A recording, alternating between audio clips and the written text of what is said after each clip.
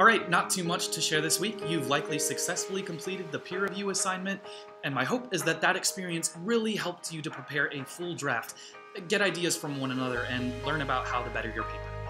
This week, it's a similar process, but I'll be the one giving feedback.